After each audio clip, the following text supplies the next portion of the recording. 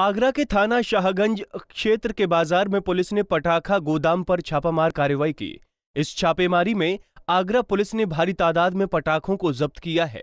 दरअसल पुलिस को गोदाम में पटाखे रखने का कोई भी लाइसेंस नहीं मिला, जिसके बाद पुलिस ने इन पटाखों को जब्त किया। ये थाना क्षेत्र शाहगंज में, भोगीपुरा मार्केट में एक कन्फेक्शनरी की शॉप है जयम्बे कन्फेक्शनरी जहाँ सूचना मिली थी इनके द्वारा पटाखे अवैध रूप से बेचे जा रहे हैं और स्टोर किए गए हैं।